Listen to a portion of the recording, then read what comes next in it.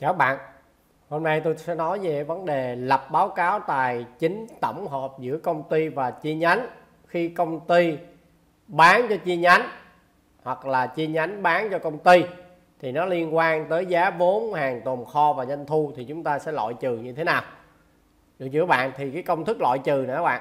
Các bạn làm như sau nè, cái công thức loại trừ này các bạn thuộc cái công thức này nha là các bạn lấy giá trị hàng tồn kho cuối kỳ của từng mặt hàng bên mua.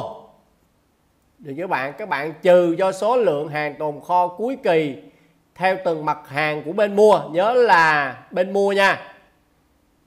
Rồi sau đó các bạn nhân cho đơn giá thành của bên bán. Rồi rõ chỗ này chưa? Như vậy các bạn lấy cái thông số là lấy trị giá hàng tồn kho cuối kỳ của bên mua trừ cho số lượng hàng tồn kho cuối kỳ của bên mua nhân nhưng mà nhân cho đơn giá là đơn giá mua của bên bán. Rồi nó ra một cái hiệu số đó. Sau đó các bạn làm gì? Lấy doanh thu của bên bán. Trừ đi cái mà mà mà mà cái hiệu số vừa rồi các bạn làm. Được không các bạn?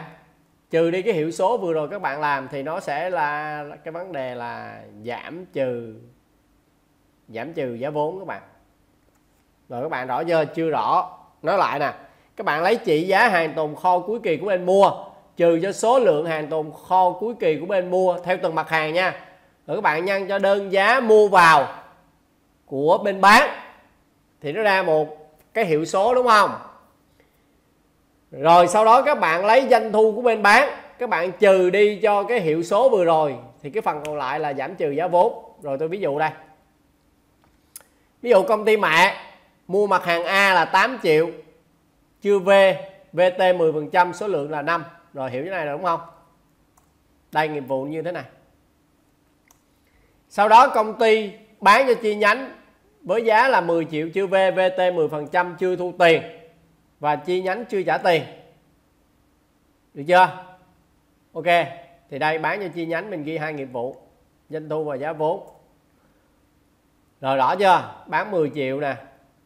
Rồi.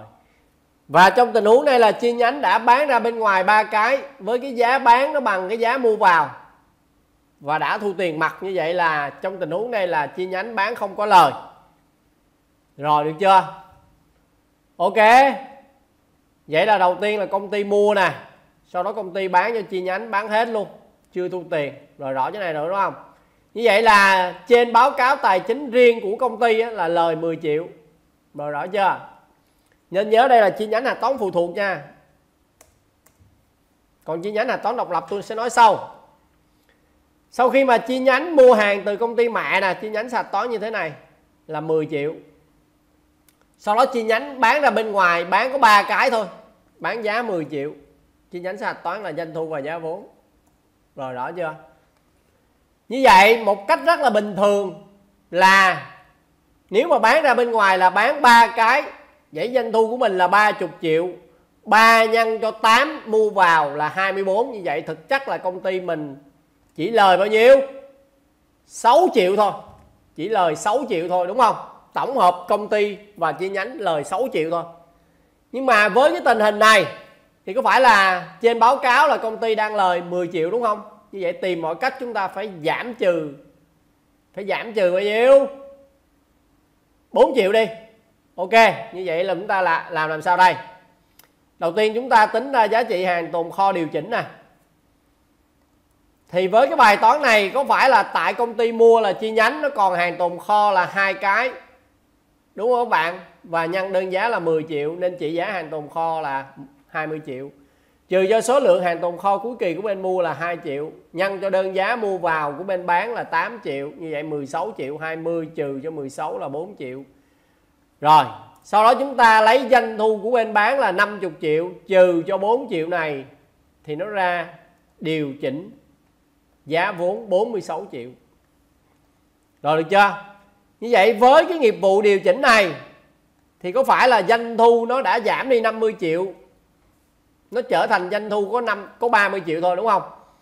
Còn giá vốn của mình là nó đã giảm đi 40 triệu tại công ty nè, và nó giảm 6 triệu tại chi nhánh nữa nè, đúng không? Như vậy giá vốn của mình nó còn 24 triệu, như vậy là đúng rồi. Như vậy báo cáo kết quả động kinh doanh, chúng ta cộng cộng kết quả kinh doanh của công ty và cộng kết quả kinh doanh của chi nhánh, và chúng ta thực hiện cái nghiệp vụ điều chỉnh này thì nó sẽ ra doanh thu là 30 triệu và giá vốn là 24 triệu. Chúng ta lời 6 triệu là đúng rồi. Được chưa? Còn trên bảng cân đối kế toán chúng ta cộng ngang lại, thì hiện nay là cái 421 nó đang lời bao nhiêu các bạn? 10 triệu. 421 nó đang lời 10 triệu. Chúng ta phải điều chỉnh nó trở thành nó lời 6 triệu thôi. Như vậy khi mà chúng ta hạch toán cái nghiệp vụ này, chúng ta điều chỉnh cái nghiệp vụ này thì chúng ta thấy nè, năm 21 mà ghi như thế này tức là làm giảm 421 50 triệu. 632 chúng ta ghi như thế này chúng ta làm cho 421 chúng ta tăng lên 46 triệu. Như vậy giảm 50 và tăng 46 có phải là 421 nó giảm 4 triệu đúng không? Đúng không các bạn? Như vậy là bản cân đối kế toán của chúng ta nó còn lời có 6 triệu thôi. Rồi được chưa?